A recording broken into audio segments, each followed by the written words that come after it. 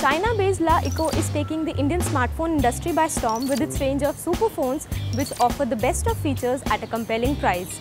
At 11,999 we find out what makes the Le 2 a super phone.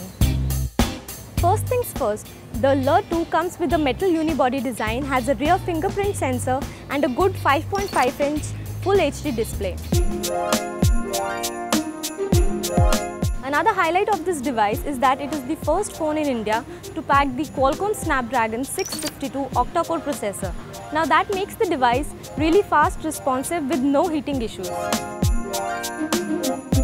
Coming to the camera of the phone, it has a 16 megapixel rear camera and an 8 megapixel front camera. Now there are a lot of customization options, filters, making this phone a good choice for photography lovers. In terms of video capabilities, this phone lets you shoot in normal, HD and even 4K quality. Now the phone is powered by Android Marshmallow with LeEco's own EUI 5.6 custom skin on top.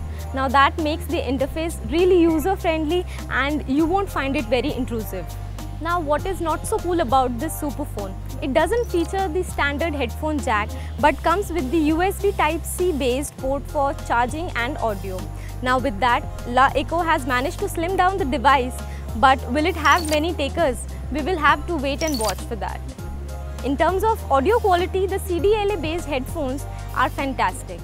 This super phone competes with a lot of budget devices in the under 15,000 range. But what gives this phone an edge over others is its beautiful design, the camera and its huge 3000 mAh battery. Overall, if you want a good looking phone with fancy new features like the USB Type-C port for both charging and audio, then Le 2 could be the next phone in a budget.